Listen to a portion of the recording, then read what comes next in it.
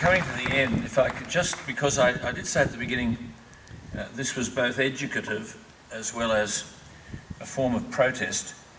If I could just take a couple of points here in relation to foreign ownership.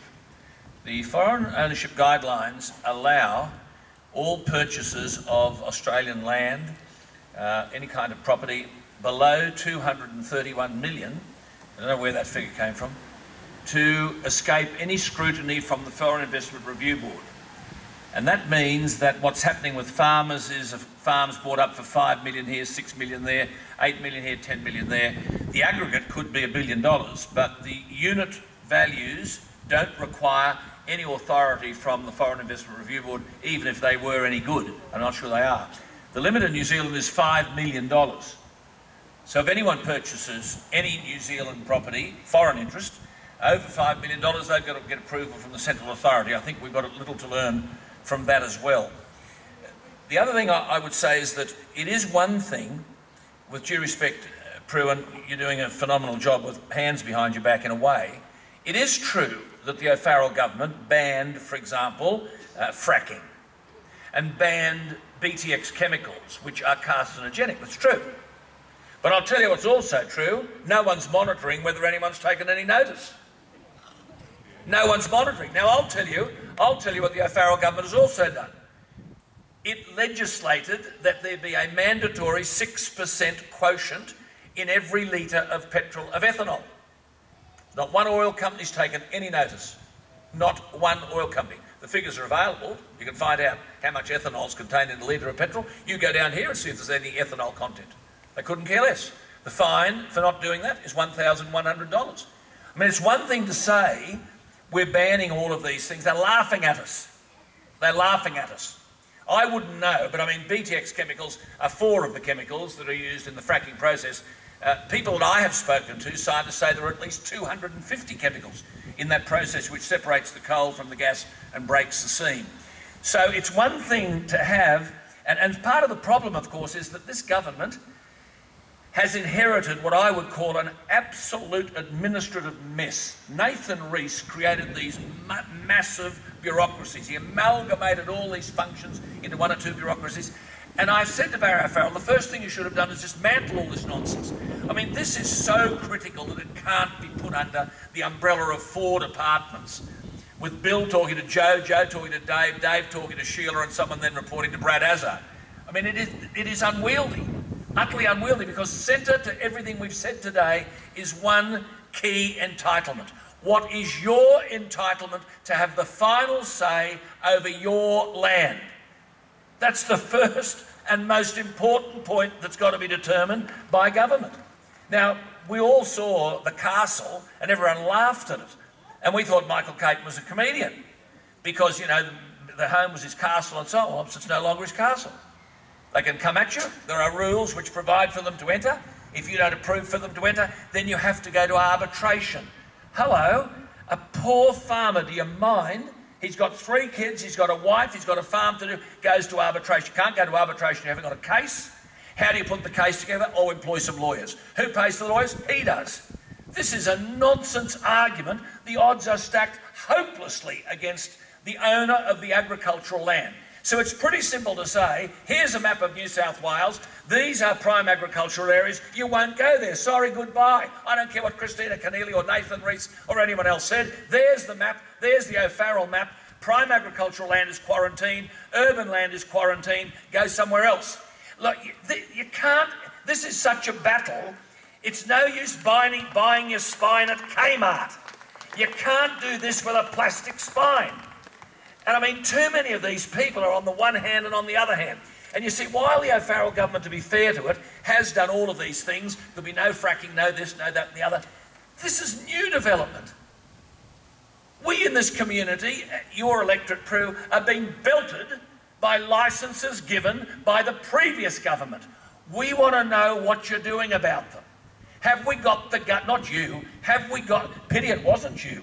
I got to tell you, instead of wandering down there in the community services, put this woman in charge and it'll be a different kettle of fish. But what I'm saying is, we've got to say, what are you going to do about the predatory behaviour of those people with existing licences? Drew talked about Ian Moore. in the Hunter Valley. That is an existing licence. That's a Labor government licence. The licences at Stroud and Gloucester, which are terrifying people. Can I just say something that I've been reluctant to say all day, but you will understand this?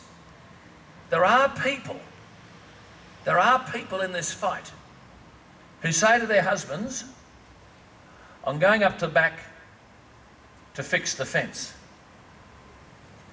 And they don't come back. They don't come back. Does anyone in government understand the emotional and psychological damage that's being done to people by all of this? These disgraceful minds, not for our use, we've only got 4% gas. And it's not for our use. This is to plunder Gladstone Harbour, build pipelines through other people's property, plunder the harbour, kill the marine life, dip 40, tip 46 million cubic metres of soil into the harbour. All that stuff is dead. Dugongs, fish, the lot. Don't worry about any of that. It's a quid because it's going to China to give China the cheap energy. We can't have it because we've got a carbon tax here. China the cheap energy.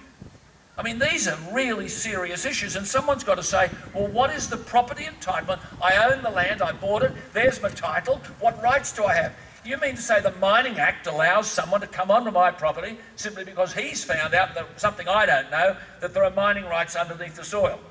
And if not, we've got to arbitrate it. And he brings his army of lawyers, and he's got millions of dollars to spend, and it's a one man show, I can't cope. Now, these are serious issues that have got to be addressed because people feel threatened and feel undermined and they feel white handed. And so there are certain constitutional rights to property, property rights. This is what, with respect, you know, our farmers fought for. We, uh, uh, farmers who went to war at Acland and down here, they went to war to fight for the right to own this country, not someone else. Now, now, what we won at war, we can't win at home. The enemy is within. The enemy is within. I mean, this is this is monumental stuff.